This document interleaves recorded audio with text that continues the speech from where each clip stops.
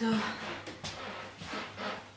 Ich warte gerade und dachte, vielleicht kann ich das einfach schnell nutzen und ganz schnell erzählen, wie das Vorsprechen in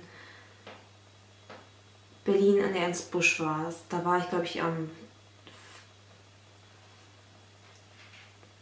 Mitte, irgendwann Mitte, Mitte, Mitte, Mitte Januar, ich glaube am 15. Ich hätte eigentlich vorher in München sein müssen, ich glaube am 13. oder so.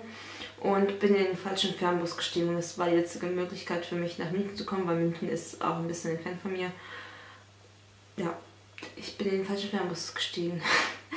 ähm, ich glaube, das passiert mir nicht nochmal. Ich bin auch eigentlich sehr genau ähm, mit dem Ticket und so und auch, dass ich in den richtigen Bus steige. Aber der Ticket-Anschauer hat auch nichts bemerkt. Und ich habe eben nur Mü gesehen und das Ende von Mü war eben Münster und nicht München. Und naja, dann bin ich an der nächsten Station ausgefahren, äh, ausgestiegen und dann mit dem Zug zurückgefahren. Genau, aber dann ähm, in Berlin war ich dann in der Ernstbusch. Ich bin mit dem Nachtbus dahin gefahren. Der ist irgendwie sechs Stunden gefahren, eigentlich viel zu wenig, weil bis man eingeschlafen ist und naja, war nicht so gut. Mache ich auf jeden Fall, glaube ich, nicht nochmal. Ich war so gegen halb sieben, ich glaube sogar sechs Uhr zehn oder so in Berlin und bin dann zu Ernstbusch gefahren, bin ein bisschen rumgelaufen um halb acht bin ich dann, glaube ich, rein und habe dann auch die erste, habe mich dann eben abhaken müssen, dass ich da bin. Da liegen dann eben so Listen aus. Da wird man dann weggestrichen, bekommt zwei Zettel, da schreibt man eben kurz einen kurzen Lebenslauf quasi drauf und seine Rollen, die wollen zwei Rollen haben und das Lied schreibt man glaube ich auch noch drauf. Ich habe es jetzt gerade nicht im Kopf. Und dann habe ich mich aufs Sofa gelegt und naja, geschlafen habe ich auch nicht mehr, aber naja.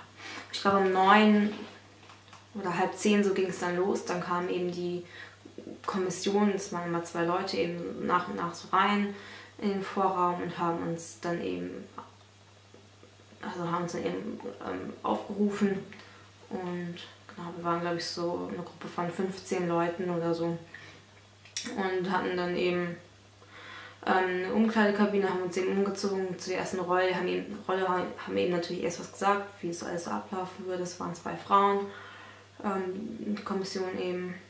Und genau, die bei Ernst Busch kann man eben zu gucken. Die halten da wohl viel von, weil man sagt, ja, man kann viel lernen beim Zugucken. Meinetwegen kann sein. Es ist mal ganz spannend eigentlich. Manch, mich lenkt es manchmal ab, manchmal ist es auch ganz interessant und manchmal ähm, ist es vielleicht auch ganz gut, wenn man ein bisschen runterkommt und sich nicht so auf sich konzentriert und nicht so in seinem, seiner eigenen Aufgeregtheit erstickt quasi. Genau. Ähm, die erste Rolle konnte man sich eben aussuchen. Ja, zweite dann eben auch. Ne, ist ja klar. Wenn man nur zwei Rollen vorbereiten soll, es gab eben quasi zwei Runden. Ähm, jeder hat seine Rolle vorgespielt. Je nachdem wurde unterbrochen. Ich glaube, gearbeitet haben die, glaube ich, mit keinem. Nur ab und zu haben sie mal gesagt, stopp, fangen wir von vorne an und jetzt mal ganz ruhig oder so.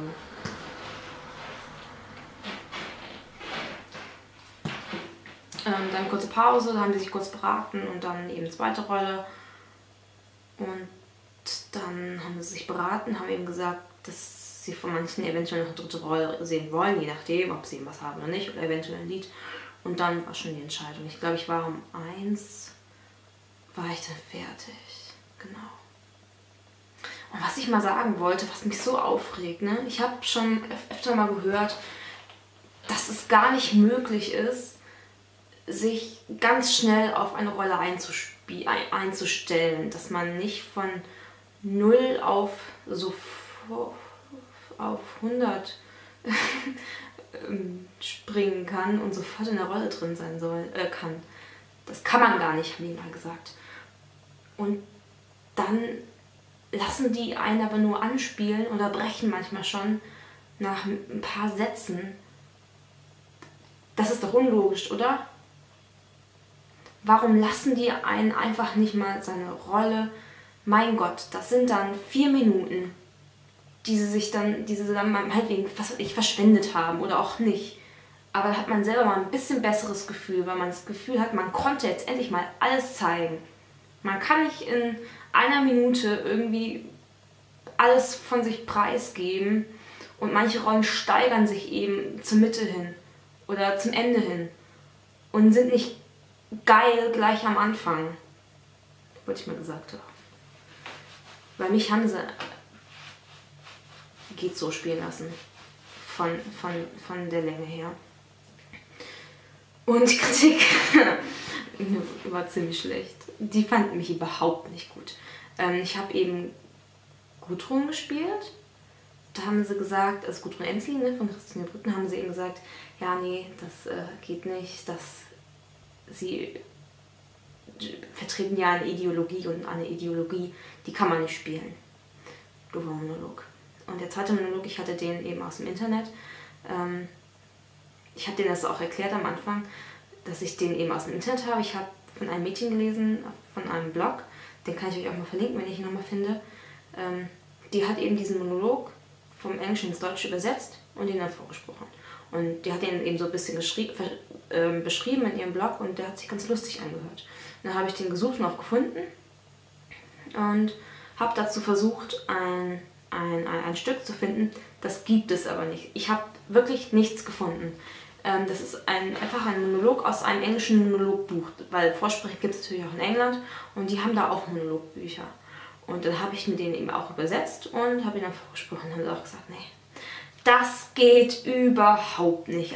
Theater hat was mit Interesse zu tun und dann sollte man auch ähm, das Interesse haben, was weiß ich, so ein ganzes Stück zu lesen. Nee, das geht überhaupt nicht. ja klar, da war ich natürlich schon unten durch. Naja, was soll's. Dann war ich fertig. Ich glaube, es ist keiner von den Jungs weitergekommen und nur ein Mädchen. Und was ich da noch ganz cool fand, da waren auch so zwei Boys, ähm, die waren, glaube ich, ich weiß, also interpretiere ich jetzt mal so ein bisschen, konnten es nicht ganz verstehen, dass ich weiter bin. Also ich war immer am Rausgehen, habe hab den Ausgang gesucht, habe mich ein bisschen verlaufen. Dann haben sie gefragt, ja, bist du weiter? Ich sage, nee. Und dann sagt, was? Aber mach auf jeden Fall weiter, du bist echt voll gut. Und das freut mich. Mann, Dankeschön. Äh, fand ich echt cool. gut. Und das war's. Dann bin ich nach Hause gefahren. Tschüss.